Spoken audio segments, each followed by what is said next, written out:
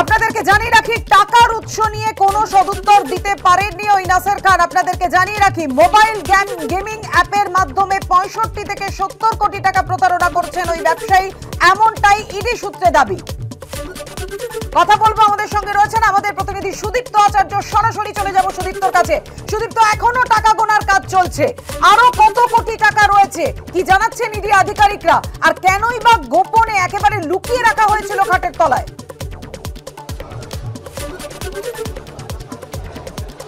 দেখো ইডি আধিকারিকরা প্রাথমিকভাবে যেটা জানাচ্ছেন যে এখনও কিন্তু টাকা গোনার কাজ চলছে, এবং তারা যেটা বলছে, তারা যেটা বলছেন, এখনও পর্যন্ত অন্তত সাত কোটি টাকার হদিশ পাওয়া গেছে, এবং কোথায় হদিশ পাওয়া গেছে? শাহী আস্তাবলের এই বাড়ি এফ সেভেন এন এ খান। এটাই নাসির খানের বাড়ি, এবং যার বিরুদ্ধে এই অনলাইন অ্যাপ গেমিং গেমিং অ্যাপের প্রতারণার অভিযোগ সারা দেশব্যাপী, তার ছোট ছেলে আমির খানের বিরুদ্ধেই কিন্তু অভিযোগ। একদম সাধারণ ছাপোষা কিন্তু বাড়ি। তুমি দেখতে পাচ্ছ, আমার ক্যামেরাম্যান প্রতীক রায় দেখাচ্ছে, এই দোতলা বাড়ি মেটিয়া বুরুজের শাহী আস্তাবলের এই দোতলা বাড়ি। এখানেই কিন্তু নাসির খানের তিন ছেলে থাকে এবং সেই তিন ছেলের মধ্যে ছোট ছেলে আমির খান, তার বিরুদ্ধেই কিন্তু প্রধান অভিযোগ এবং যেটা স্থানীয় সূত্রে জানা যাচ্ছে যে নাসির খান নিজে পরিবহন ব্যবসায়ী এবং এই বাড়িতে আজকে সকালে সাড়ে আটটা নাগাদ কিন্তু প্রথম ইডি আধিকারিকরা আসেন এবং এই বাড়ি শুধু না, কলকাতার আরও চারটি জায়গায় কিন্তু ইডি আধিকারিকরা এই প্রতারণা মামলা অনলাইন অ্যাপ গেমিং অ্যাপের যে প্রতারণা মামলা সারা দেশব্যাপী জাল ছড়িয়েছে, তার তদন্তের জন্য বিভিন্ন জায়গায় যান।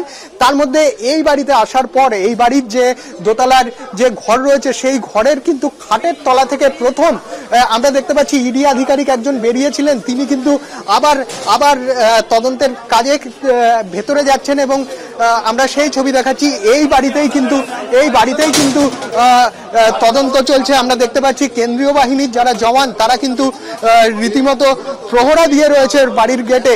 এবং যেটা জানা যাচ্ছে যে এই প্রতারণার জাল কতদূর ছড়িয়ে রয়েছে, সেটা কিন্তু ইডি আধিকারিকরা জানার চেষ্টা করছেন। তার পাশাপাশি এই প্রতারণায় আমির খান ছাড়া আর কারা যুক্ত, আর কারা যুক্ত, সেটাও কিন্তু তারা জানার চেষ্টা করছেন কথা বলে। পাশাপাশি এত টাকা বাড়িতে তিনি কীভাবে রেখেছেন এবং টাকার উৎস কি সেটাও কিন্তু খান পরিবারের থেকে জানার চেষ্টা করা হচ্ছে এবং ইডি সূত্রে যেটা জানা যাচ্ছে, এখনও পর্যন্ত কিন্তু এই বিপুল পরিমাণ টাকা যে টাকা এখনও পর্যন্ত সাত কোটি টাকা অন্তত পক্ষে সাত কোটি টাকা রয়েছে এবং যে টাকার পরিমাণ আরও বাড়তে বলে, পারে বলে ইডি সূত্রে জানা যাচ্ছে, তারা বলছেন যে টাকা গোনার কাজ চলছে। এই টাকা তারা কেন বাড়িতে রেখেছেন? টাকার উৎস কি? সেটাই কিন্তু জানার চেষ্টা করা হচ্ছে এবং কিন্তু যেটা ইডি সূত্রে জানা যাচ্ছে, সেই সদুত্তর কিন্তু তারা দিতে পারছেন না। টাকার উৎস কি?